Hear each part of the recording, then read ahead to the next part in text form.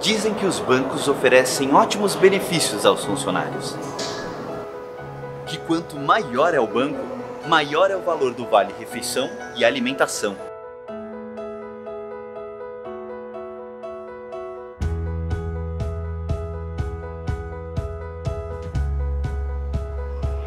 Na verdade, o valor do VA e do VR são os mesmos em todas as instituições financeiras.